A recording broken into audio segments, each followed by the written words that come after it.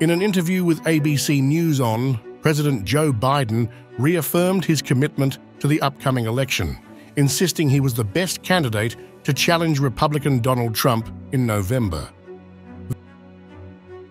Despite a shaky debate performance, Biden remained confident in his abilities, though the interview did little to quell growing concerns among Democrats.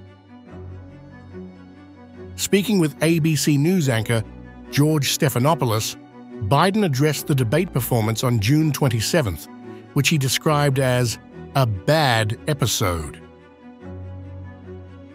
The 81 year old attributed his lackluster showing to exhaustion and poor preparation.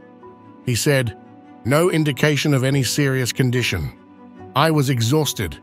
I didn't listen to my instincts in terms of preparing and, and a bad night. Stephanopoulos pressed Biden on whether he was realistic in his belief that he could defeat Trump given widening poll margins and increasing concern among Democratic lawmakers. Biden dismissed the polls as inaccurate and expressed confidence in his qualifications. When asked if he would consider stepping down if fellow Democrats suggested he was jeopardizing their re election chances, Biden quipped, If the Lord Almighty comes out and tells me that I might do that,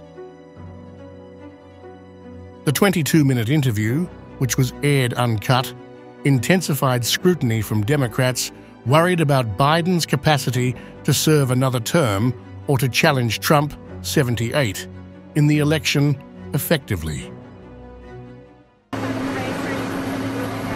Completely ruling that out. Are you confident you can serve another four years? I'm positive. Representative Lloyd Doggett of Texas who has called for Biden to step aside, told CNN after the interview Every day he delays makes it more difficult for a new person to come on board to defeat Donald Trump. Meanwhile, his opponent, Trump, took to Facebook to mock Biden's campaign. In a lengthy post, he sarcastically encouraged Biden to continue his campaign with alacrity and strength while listing a series of criticisms about Biden's policies and labeling Biden's campaign is to make China great again.